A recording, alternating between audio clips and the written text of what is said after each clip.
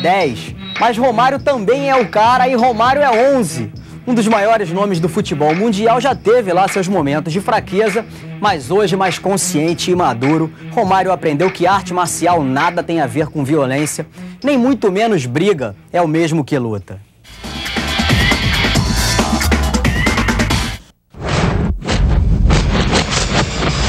Aí galera, quem tá falando Romário, com certeza eu assisto e muito o programa Sensei. Curto bastante arte marcial, já fiz algumas e realmente o programa é irado. Aí galera, não brigue, lute. Valeu!